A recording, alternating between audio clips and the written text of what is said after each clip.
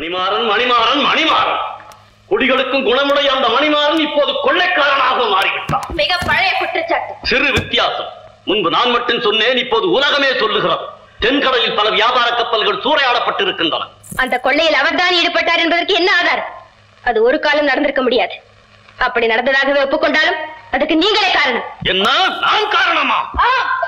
நீங்கள் அவரை படுத்திய கொடுமைகளுக்கு கிடைத்திருக்கும் பிழைதான் உங்களை விட கொள்ளையரே மேலது தவறான பாதையில் அவரை தள்ளியவரை நீங்கள் தான்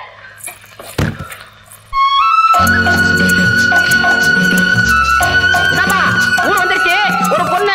நான் சுங்கச்சாவடி இறங்கிறேன் ஓட்டு நிறுத்தப்பா.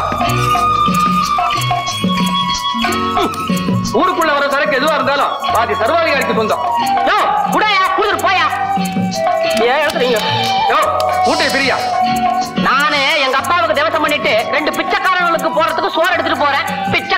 பிச்சைக்காரங்களுக்கு உங்களுக்கு போடணுமா? காலம் காத்த போயா. சௌக்கியமா? ஐயா கண்ணில்லாத கபோதியா பிச்சை போடுங்க. ஐயா பிச்சை போடுங்க ஐயா. பல்ல உடப்பேன். இந்தாயா எடுக்கிறது பிச்சை கழுத்த கைய போட்டு எடுக்கிறியா அழகா. தெரியல. நான் தானே உழவு மறந்துப்பேன் டேய் நம்ம உணவு மருதப்பனா அசல் பிச்சைக்கார மாதிரி இருக்கடா. டேய் மணிமாறண்ண ஒரு முக்கியமான வேலையா அனுப்பிச்சிருக்காரு. நம்ம ஆளுங்களுக்கெல்லாம் பொண்ணு கொடுக்க சொல்லி கொடுத்து அனுப்பிச்சிருக்காரு. அவர் அடுத்த கொள்ளைக்கு புறப்படுறதுக்கு முன்னால நான் போய் சேர்ந்துடணும். ஆகையினால நம்ம ஆளுங்கள் எல்லாம் தயாரா வை நான் வர ஓடு. சரி.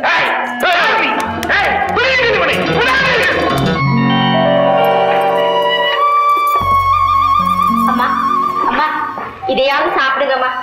இப்படியே கவலைப்பட்டு உட்காந்துருந்தா உடம்பு என்னத்துக்காகும்? மனசை தேத்திக்கங்கம்மா. தேன்மொழி உன்னை தவிர வேறு யாரிடம் சொல்வேன். எனக்கு இருப்பது ஒரே இதயம். அதற்குள் அவரே நிறைந்திருக்கிறார். என் மனம் எங்கோ கட்டறிந்து ஓடுகிறது. எங்கு நோக்கினும் அவர் உருவம். என்னால் என்னையே கட்டுப்படுத்த முடியவில்லை. நானும் அவரும் சந்தித்து உரையாடிய இடங்கள் என்னை சித்திரவதை செய்கின்றன. அவர் கால்பட்டு சிறப்படைந்த இந்த கன்னிமாடம் நீ வாழ்க்கையை பறிகொடுத்தவள் வாழ தகுதியற்றவள் என்று என்னை பார்த்து கை கொட்டி சிரிக்கிறது இந்த தீவை விட்டு நான் எங்காவது போய்விட வேண்டும். இல்லையே என் உள்ளம் சுக்குநூறாக. அம்மா நீங்க நினைக்கிறது போல வெளியூர் பயணத்திலேயாவது ஆறுதல் கிடைக்குதான்னு பார்ப்போம். கொஞ்சம் அமைதியா இருங்கம்மா. உங்களுடைய என்ன இது? பயணம் ஏற்பாடு செய்ய சொன்னாயாமே? ஆ, உடனே புறப்பட வேண்டும். இப்போதெல்லாம் கடற்பயணம் அவ்வளவு சுலபம் இல்லாமா கொள்ளையர்களின் அக்கிரமம் தாங்க முடியவில்லை. இல்லை. இங்கிருந்தால் எனக்கு பைத்தியமே பிடித்துவிடும். உடனே ஏற்பாடு செய்யுங்கள். ஏ அதிகாரி பூங்கொடி நாளையே இங்கிருந்து புறப்பட வேண்டும். நமது கப்பலில் கொள்ளையர் கொடியை பறக்க விடும். பிரபு இது என்ன விபரீத யோசனை? ராஜதந்திரம் என்பதே இதுதான். நமது கப்பலில் பறக்கும் கொள்ளையர் கொடியை பார்த்து தங்களது இனத்தவர் கப்பல் என்று கருதி கொள்ளையர்கள் ஒதுங்கி போய்விடுவார்கள் புரிகிறதா? அருமையான யோசனை. அப்படியே செய்கிறேன். ம், புறப்படு கொள்ளையர் கப்பல் ஆமாப்பா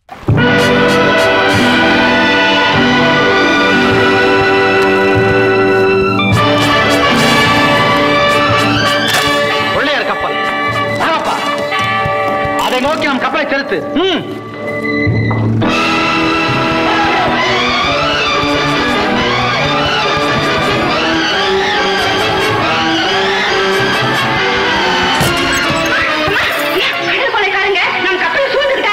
you.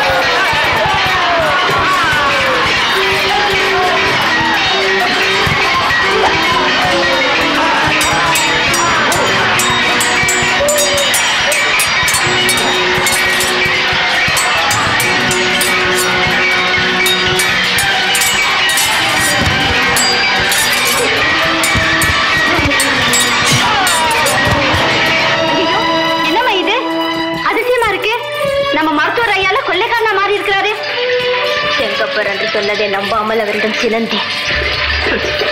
மின்னுவதெல்லாம் பொன்னல்ல என்னும் உண்மை இப்போதெல்லாம் புரிகிறது ச்சே, கேவலம் ஒரு கொள்ளைக்காரனியா நான் காதலித்தேன்.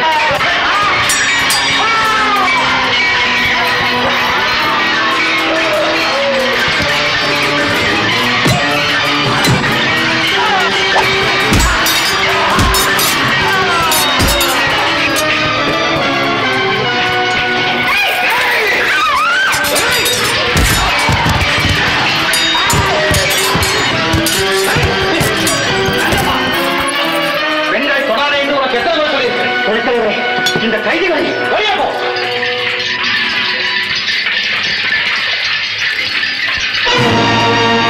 இளவரசி என்னிடம் பேசும் மரியாதை உமக்கு கிடையாது.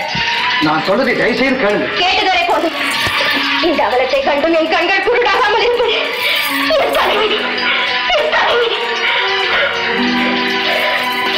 என் கண்ணெதிரே நிற்காதீர்கள்.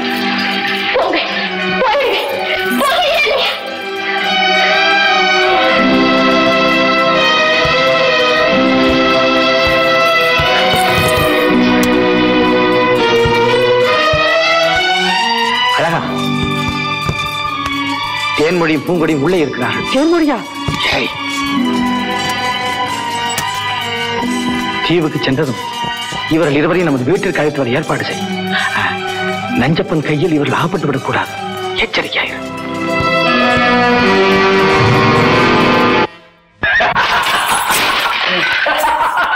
மணிமாறா நீ என்னை விட உயர்ந்தவன். கொள்ளையர் சரித்திரத்திலேயே இவ்வளவு கொண்டு வந்ததில்லை ஒரு கொள்ளைக்காரன் கப்பலையே திருப்பி கொண்டு வரும் சாதனையை உன்னை தவிர வேறு எவருமே சாதித்ததில்லை. ஆமாம் கொள்ளையடித்த எல்லா பொருள்களுமே வந்து சேர்ந்து விட்டன. ஒன்றை தவிர என்னது? துணைத் தலைவரே இதற்கு பதில் சொல்லட்டும். நஞ்சப்பா உன் குற்றச்சாட்டு என்ன? நஞ்சப்பா மணிமாறன் மீதா மாற்று கற்பிக்கிறாய் இதோ.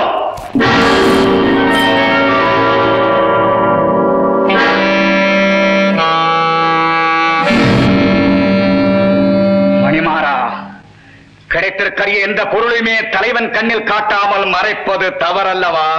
நீங்கள் இங்கு காண்பது பொருள்கள் அல்ல உயிர்கள்.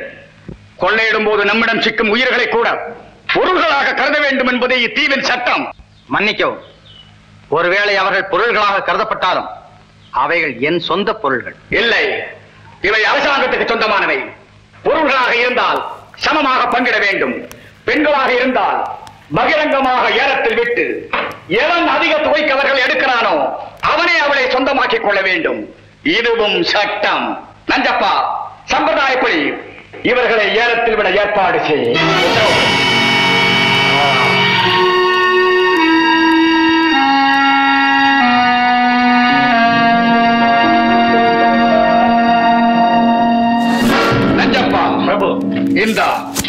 லட்சம் பொன். லட்சம் பொண்ணா கோடி கொடுக்கலாம் அவளுக்கு மணிமாறன் கொண்டு வந்திருக்கும் மாணிக்க சிலைக்கு என்னையே கூட விலையாக கொடுக்கலாம். நஞ்சப்பா. அந்த அழகு சிலை என் அந்த புறத்தை அலங்கரிக்க வேண்டும். இனி என்றென்றும் அவள்தான் என் இல்லத்தரசி. இன்று இரவு அவள் உங்கள் உறவு. அது என் பொறுப்பு. ஒரு சந்தேகம். என்ன? ஏலத்தில் ஒருவேளை போட்டி இருக்குமோ? முட்டாள். ஒரு பெண்ணை லட்சம் பொன் கொடுத்து வாங்கக்கூடியவன் இந்த தீவில் என்னை தவிர வேறு யார் இருக்க முடியும்? ஒரு லட்சம் பொன்னுக்கு மேல் யாரும் விலை கேட்க மாட்டார்கள் என்று கனவு காண்கிறார் என் கணவர். இதோ ஒன்றரை லட்சம் பொன்.